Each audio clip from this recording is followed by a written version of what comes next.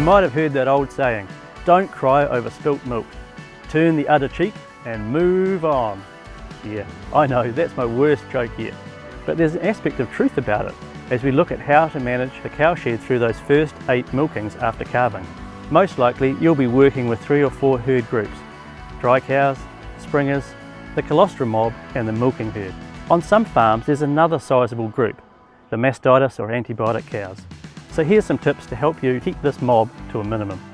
It's worth taking your time with colostrum cows to make sure that only uninfected cows enter the milking herd. So I like to follow six basic steps. First, we want to wash the teats if they're dirty. So I wear some gloves and I use a low pressure hose and wash those teats by rubbing them to get all that muck off. Next, teat spray the colostrum cows before milking. This reduces the spread of bacteria and also makes milking more comfortable for the cow.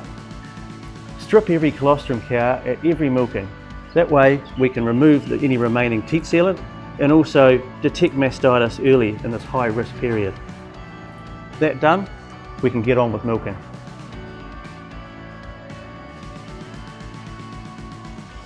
Teat spray again after milking, making sure we get full coverage of the teats. We want to use the rapid mastitis test or RMT test on every cow that's due to go into the main milking herd. That way we'll find subclinically infected cows that we might otherwise have missed. We need to strip milk from each quarter into the paddle. About four or five good squirts will do it. And then we tip the paddle up to make sure the milk's even. Then we squirt in the same amount of the RMT solution as we've got milk. The next bit is the really important part.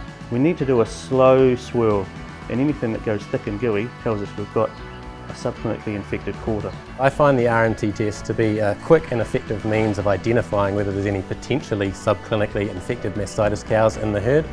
As you can see here with a simple swirl and pour, we can identify if the RMT solution is bringing up a positive. And if they're positive, what then?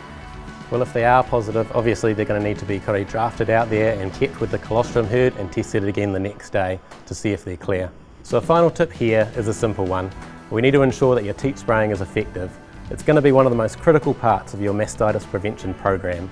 So the teat spray is going to kill any bacteria on the teats, as well as it also contains an emollient, which is going to ensure good teat skin health. Once the cups come off, we need to make sure that all four teats are adequately sprayed which can be tested later with the paper towel test.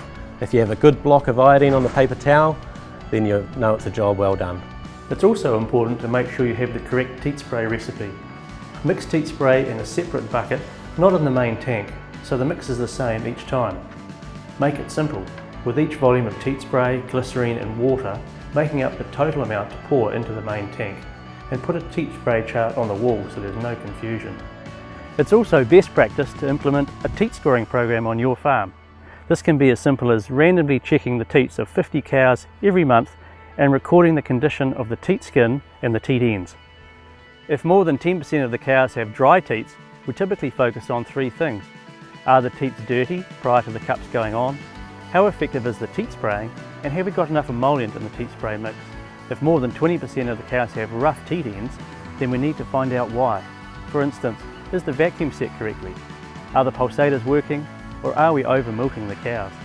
It's simple, yes, but if it cuts down on tears over spilt milk, then all we hear is the sound of laughter all the way to the bank. Watch all our videos by downloading the NZ Farmer Tips app for Apple or Android today.